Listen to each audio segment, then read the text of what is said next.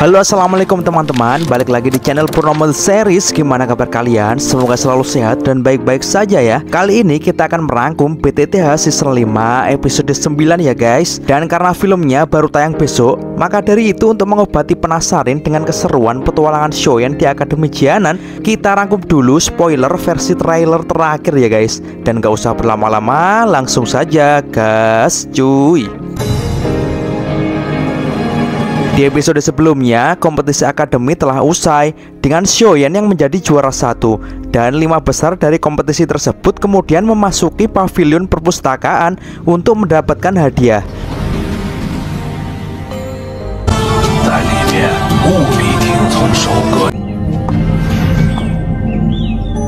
Saat di dalam, mereka memasuki ruangan yang begitu luas dan dikelilingi oleh formasi portal energi guys. Di situ Hujia berkata kepada Suner kalau ia sangat senang karena bisa satu tim bersama dengan Suner. Pasalnya ia yakin kalau di masa depan mereka berdua akan menjadi murid terbaik di Akademi Jianan dan juga pastinya murid-murid senior di Akademi Dalam akan semena-mena kepada murid-murid yang baru saja masuk. Jadi alangkah baiknya agar mereka bekerja sama.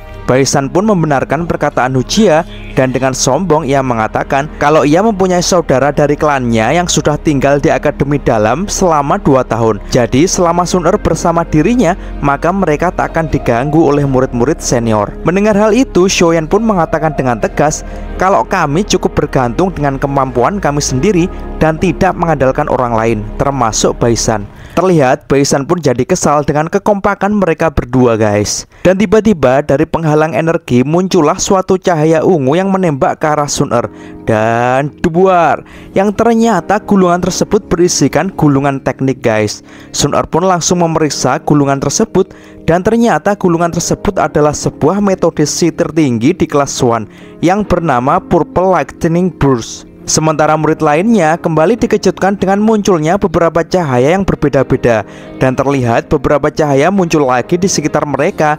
Melihat hal tersebut, Shoyan pun yakin kalau salah satu dari cahaya-cahaya tersebut ada sebuah buah langit Dijelaskan kalau buah langit adalah sebuah obat yang bisa membantu seorang kultivator meningkatkan kekuatannya satu tingkat setelah mengkonsumsinya. Bahkan dikatakan buah tersebut mampu menyempurnakan sebuah pil menjadi pil misterius yang memiliki kekuatan setara dengan ranah Dohuang. Menyadari kalau saat ini mereka tak punya waktu lama karena memang di sini mereka mempunyai batas waktu hanya satu jam guys. Jadi mendapatkan harta atau tidak itu semua tergantung kepada kerja keras mereka dalam perburuan harta di tempat ini. Dan mereka pun segera bergegas memanfaatkan waktu sebaik-baiknya dengan mencari harta-harta yang cocok untuk mereka masing-masing. Dan terlihat Xiaoyan pun mengejar harta bercahaya kuning yang mencuri perhatiannya dan dengan cepat ia mengejarnya. Dilihat dari kelincahan harta tersebut, Xiaoyan yakin kalau harta tersebut adalah harta tingkat tinggi. Hingga akhirnya ia pun dapat menangkapnya guys. Dan harta tersebut berbentuk gulungan berwarna merah pucat yang berisikan teknik poenik 9 lapisan tingkat menengah. Meskipun teknik tersebut hanya berada di tingkat menengah, namun Shoyan belum pernah mempelajari teknik tersebut. Terlebih lagi, harta tersebut merupakan harta langka di dataran Black Corner.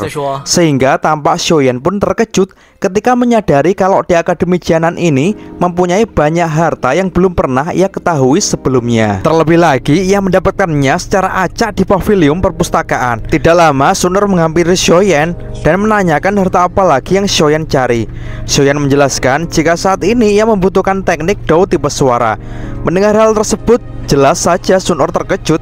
Pasalnya teknik tersebut sangat langka dan akan sulit untuk mendapatkannya. Namun Shoyan tak putus asa. Ia pun segera menggunakan kekuatan spiritualnya untuk mencari keberadaan teknik tersebut. Dan dengan menggunakan pil naga yin yang yang telah ia serap, dipastikan memudahkannya untuk merasakan keberadaan teknik tersebut, guys. Di sisi lain, setelah beberapa lama mencari harta di pavilion perpustakaan, Baisan akhirnya mendapatkan juga harta, yaitu baju besi yang hampir transparan yang mempunyai pertahanan yang sangat kuat. Ini adalah pengganti armornya yang telah hancur ketika ia dipukuli oleh Shoyan. Sementara itu, Hujia mendapatkan pil berwarna ungu yang masih belum diketahui fungsinya. Ada juga Wu Hao yang telah mendapatkan harta yang bernama Crystal Core untuk membantu menguatkan pedangnya. Dan tiba-tiba penghalang energi mulai bereaksi seketika menghisap semua harta yang telah ia keluarkan di situ. Ini semua karena waktunya sudah habis guys. Seketika pintu utama mulai terbuka Seketika mereka keluar dari pintu perpustakaan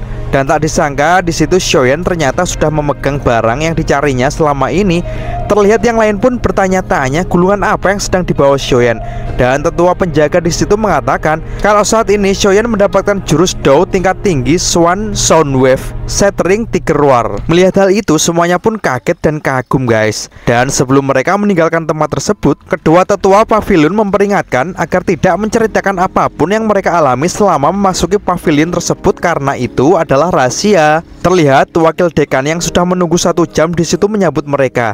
Mereka kemudian pamit kepada kedua tetua penjaga di situ.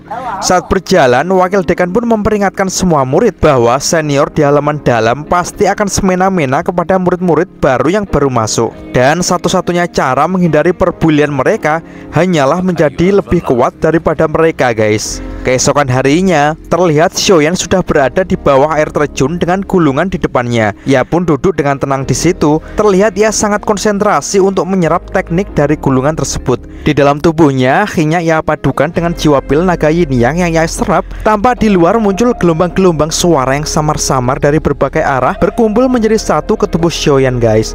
Dan tiba-tiba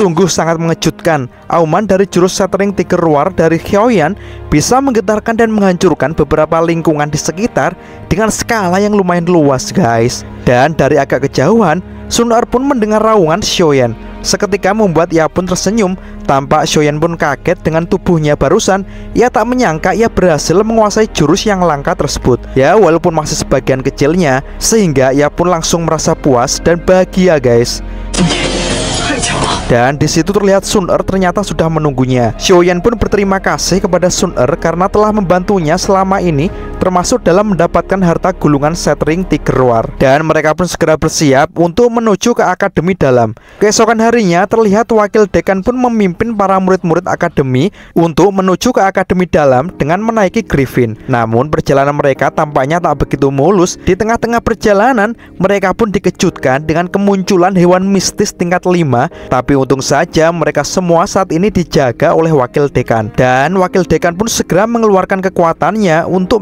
menghabisi hewan mistis tersebut. Singkat cerita mereka pun sudah sampai di akademi dalam Dan sudah disambut oleh salah satu tetua bernama Su dia mengatakan, meskipun mereka berhasil melewati kompetisi kualifikasi untuk menjadi murid halaman dalam, namun tetua Shou menegaskan ujian selanjutnya akan jauh lebih sulit dari sebelumnya. Kemudian ia pun memberikan sebuah token kepada seluruh murid baru dan menyuruh mereka untuk menjaga token tersebut ketika berada di halaman dalam. Terlebih lagi, misi mereka yaitu berburu energi yang ditunjukkan oleh token tersebut. Dan ia juga memperingatkan kalau nantinya pasti banyak sekali para senior pemburu yang akan berusaha untuk token tersebut. Dan mereka sangat brutal guys. Akan tetapi dengan percaya diri, para murid baru tampaknya yakin kalau ia akan bisa melewatinya.